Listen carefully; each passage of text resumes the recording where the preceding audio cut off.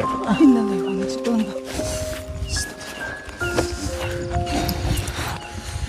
الله أكبر. لا إله إلا الله. أستغفر الله العظيم. أستغفر الله العظيم. بسم الله. الله أكبر. الله. إن الله. أستغفر الله العظيم.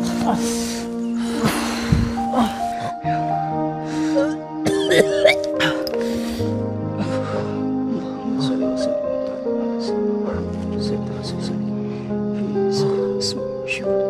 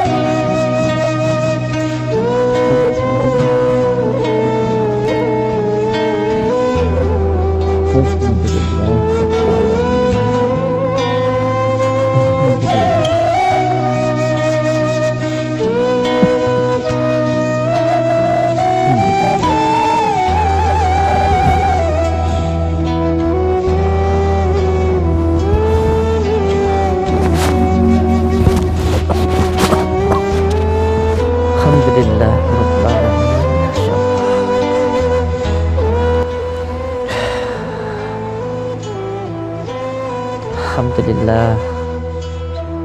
Belum mati. Tapi ya harus belajar mati. Karena semua orang yang hidup pada akhirnya juga akan mati. Yang perlu dilakukan bukan apa yang harus dikhawatirkan tetapi harus dipersiapkan. Apa nantinya yang akan dibawa ketika diri kita mati? Itu yang harus dipersiapkan. Tidak perlu dikhawatirkan karena semua yang hidup pasti akan mati. Ketika kita mati semua yang kita banggakan semua yang kita cintai itu semuanya tidak akan menemani kita tidak akan kita bawa. Istri yang kita cintai tidak akan mungkin ikut bersama kita di dalam kubur. Anak yang kita cintai tidak mungkin menemani kita di alam kubur. Rumah yang kita tempati dengan nyaman berganti tempat di tempat tanah yang sangat-sangat tidak nyaman. Mobil yang biasa kita kendarai akan kita ganti dengan keranda yang sangat-sangat tidak nyaman biasanya kita bisa melihat televisi dan berbagai macam hal yang kita suka ketika nanti kita mati yang akan kita lihat hanya tanah di kanan kiri kita. Tidak ada lagi yang bisa kita banggakan dan tidak akan ada lagi yang bisa kita agung-agungkan. Yang menemani kita hanyalah amal ibadah kita. Dan amal ibadah kita akan sangat-sangat tidak sebanding sekali dengan rahmat Allah yang diberikan kepada kita. Seandainya kita terus beribadah itu pun jika dibandingkan dengan rahmat Allah yang diberikan kepada kita tidak akan pernah sebanding. Satu rahmat Allah yang diberikan kepada kita nafas itu saja. Apabila dibandingkan dengan ibadah kita saja sudah tidak sebanding. Belum lagi rahmat-rahmat Allah yang lain nikmat-nikmat Allah yang lain. Kesehatan nikmat kita bisa berbicara nikmat kita bisa melihat nikmat kita bisa mendengar nikmat kita berjalan.